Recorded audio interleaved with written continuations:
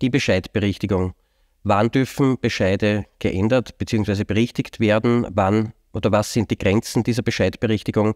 Mit solchen und ähnlichen Fragen möchte ich mich in meinem heutigen 3 Minuten Umweltrechtsvideo befassen.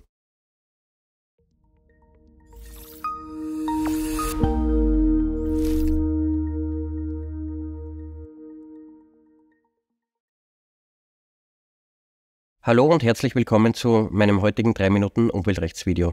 Mein Name ist David Sucheneck, ich bin Rechtsanwalt bei der Umwelt- und Energierechtskanzlei Niederhuber und Partner mit Sitz in Wien, Salzburg und Graz. Wie schon eingangs erwähnt, möchte ich mich heute mit der Bescheidberichtigung auseinandersetzen. Die Bescheidberichtigung ist im AVG, im Allgemeinen Verwaltungsverfahrensgesetz, geregelt und erlaubt es unter bestimmten Umständen Bescheide, Achtung, auch wenn diese rechtskräftig sind, zu ändern. Allerdings ist klar, dass diese Änderungen nicht in, in jede Richtung gehen dürfen. Einleitend vielleicht zunächst noch ähm, zur Bescheidänderung an sich. Natürlich können Bescheide, die ja das Ende eines Verfahrens bilden, geändert werden. Im Rechtsmittelweg, das wäre der übliche Weg.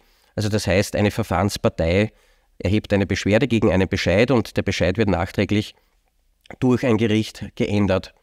Ähm, die Bescheidberichtigung unterscheidet sich hier dogmatisch. Hier wird nämlich nicht der Bescheid inhaltlich geändert, sondern nur in bestimmten formalen, ich würde jetzt, jetzt würde ich, würde ich sagen, formalen, aus formalen Gründen. Das heißt, ähm, Schreib- oder Rechenfehler, die ganz offensichtlich falsch sind und offenkundig auf einem Versehen der Behörde basieren, dürfen hier geändert werden.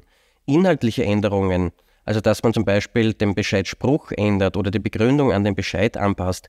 Solche Änderungen sind von der Bescheidberichtigung keinesfalls erfasst.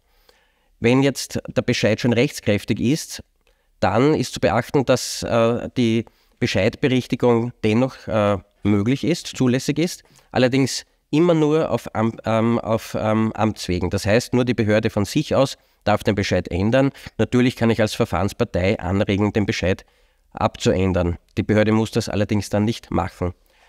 Ähm, zu guter Letzt ist noch der Fall zu beachten, wenn die Beschwerdefrist noch aufrecht ist, das heißt der Bescheid wird zugestellt, ich könnte eine Beschwerde erheben oder eine Bescheidberichtigung, dann sollte man möglichst rasch mit der, Beschw äh, mit der Behörde abklären, ob eine Bescheidberichtigung durchgeführt wird oder wenn die Behörde dies ablehnt, ähm, äh, man eine Beschwerde erhebt. Denn wenn die, Be äh, die Behörde die Bescheidberichtigung ablehnt, bleibt nur mehr der Weg zu den Gerichten über die Erhebung einer Beschwerde.